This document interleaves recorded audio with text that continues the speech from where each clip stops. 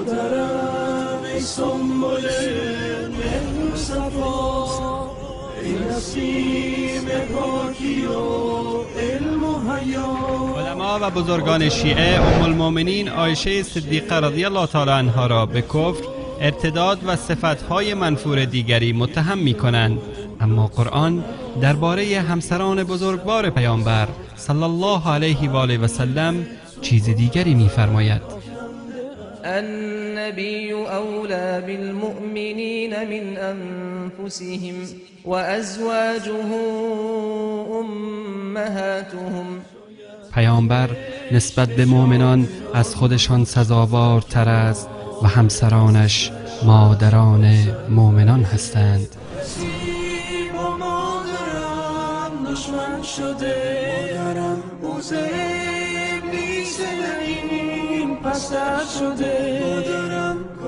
حال سوالاتی که باید به آن پاسخ داده شود این است که مادرم بر حریم مصطفی ای هموطن. مادرم ای نمک پاشیدگان بر زخم مادرم درد و داغ آیا لحظات آخر زندگی رسول الله صلی الله علیه و آله و سلم در کنار عایشه صدیقه رضی الله تعالی عنها سپری نشد؟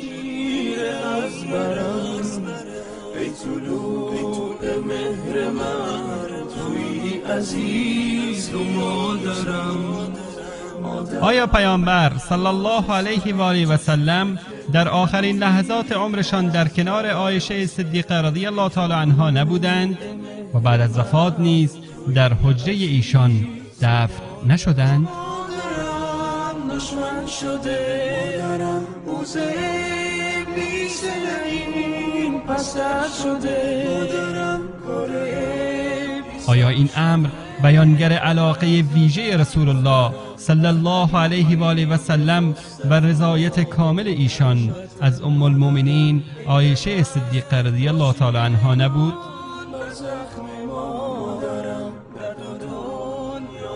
شما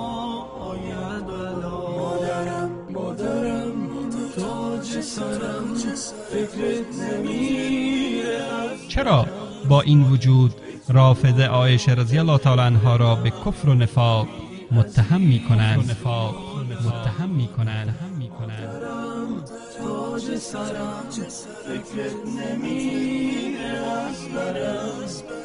ای طلوع مهر من توی عزیز و مادرم.